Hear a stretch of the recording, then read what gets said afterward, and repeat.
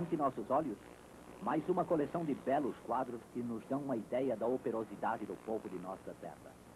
A Piaí, fruto do esforço de uma pleiade de brasileiros a produzir para um Brasil maior.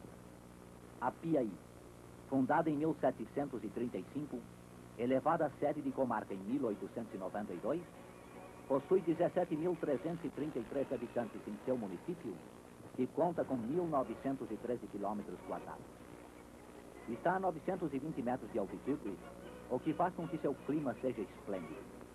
As terras do município escondem grande quantidade de minérios tais como ouro, prata, platina, chumbo, zinco, cobre, alumínio e inúmeros outros de grande valor. Dista da capital paulista 324 quilômetros pela estrada de rodagem São Paulo-Paraná e experimenta atualmente um surto de progresso verdadeiramente assombroso. Possui 121 estabelecimentos industriais, sendo que o mais importante é a usina de chumbo e prata Dr. Ademar de Barros. É prefeito de Apiaí o senhor Alberto Dias Batista, homem digno de toda a confiança do povo, e que vem de conseguir com o Decreto-Lei 107, ou seja, a isenção temporária de todos os impostos de 5 a 30 anos para as indústrias que se instalarem no município até 31 de dezembro de 1953. Ato este que justifica em parte o progresso por que passa Piaí, a pequena grande cidade do estado de São Paulo. Prédio onde funciona a cadeia local. A instrução pública conta com inúmeros estabelecimentos de ensino, o que demonstra o grau de adiantamento de Apiaí. Este é o prédio onde em breve funcionará o grupo escolar.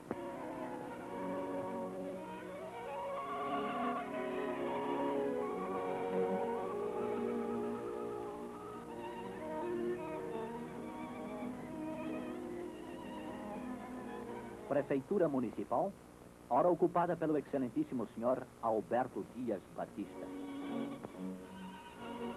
Hospital de Apiaí, construído pela Sociedade Beneficente de Apiaí, com o auxílio do governo estadual e em vias de entrar em funcionamento. Posto de puericultura de Apiaí, magnificamente instalado em prédio próprio e possuindo todos os melhoramentos feitos para exames pediátricos e obstétricos. Funciona desde 1948 em condições difíceis, porquanto o posto ainda não está devidamente registrado no rol dos postos de puericultura mantidos pelo Departamento Estadual da Criança. A professora Eunice Almeida Pinto Chaves é a única funcionária nomeada e conta com a valiosa colaboração graciosa do médico Dr. Amir Kassu.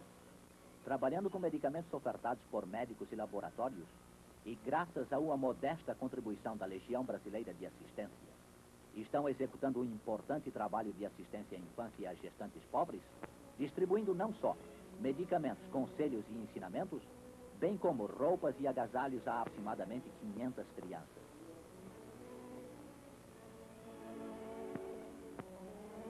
Grupo formado logo após a visita que altas autoridades fizeram ao posto de puericultura.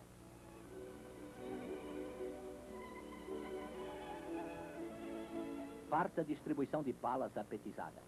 Momento feliz e sempre esperado pelos garotos que sorriem alegres com a guloseima ofertada.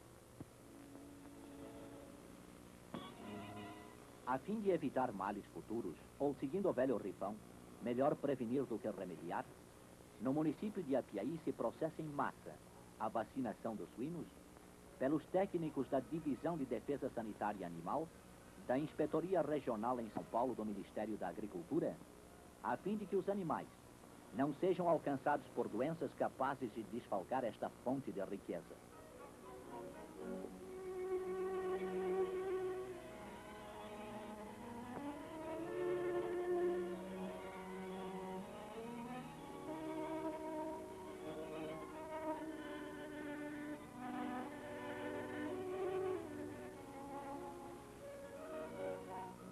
Duzentos metros de altitude.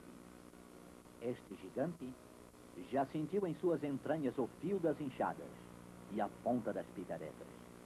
É o Morro do Ouro, onde se encontra a antiga mina de ouro que pertenceu a D. Pedro II. Presentemente, num reinício de atividades, já se extrai o minério em regular quantidade.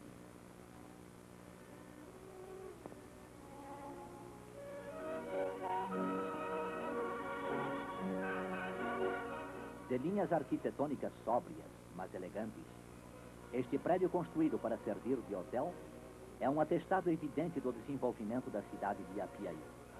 O posto de automóveis, também de construção moderna, possui todas as acomodações exigidas para o fim a que se destina. São duas propriedades do Sr. Alcides Fadiga Costa. Aproveitando seus momentos de folga e sempre rodeado de amigos, o Sr. Alcides Fadiga Costa pousa para nossa objetiva.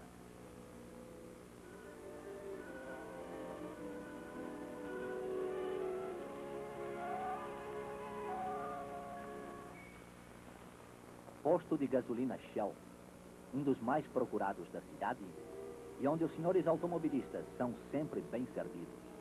Está sob a direção de seu proprietário, o senhor Alfeu Vittorio Neri, que é também agente da empresa Expresso Sulino e da empresa Reunida São Paulo Paraná Limitada.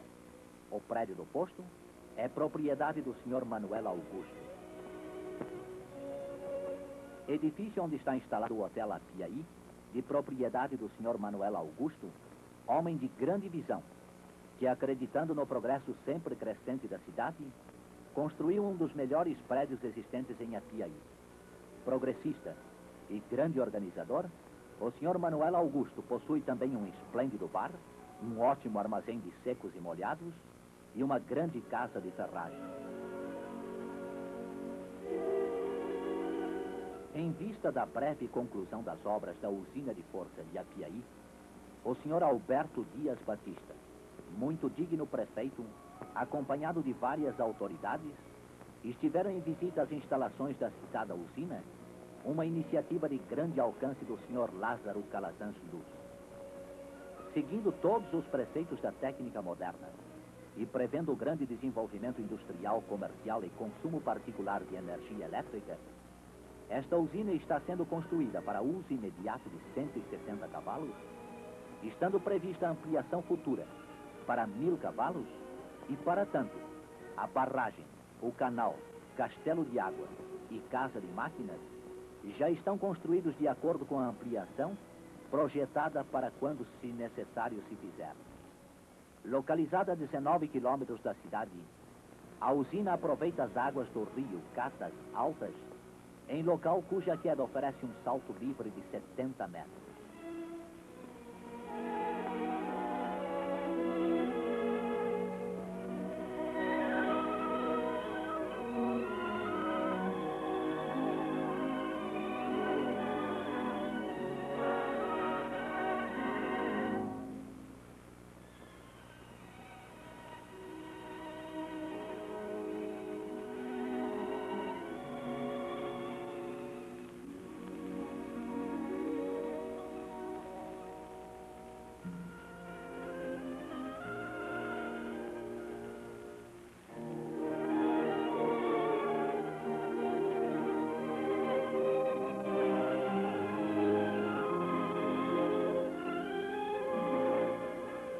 Correr da objetiva, fragmentos da mina lajeado de propriedade do Sr. Oswaldo Sampaio, um perfeito técnico orientador na mineração de sulfureto de chumbo natural, ou seja, galena, de onde por processos vários se extrai o chumbo, material que atualmente exerce notável importância na economia mundial.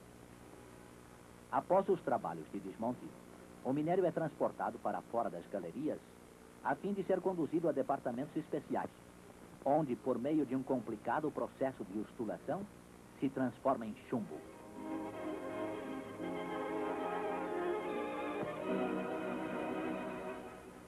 Em visita à mina Lajeado, encontra-se o Sr. Alberto Dias Batista, prefeito de Apiaí, acompanhado de vários elementos de destaque.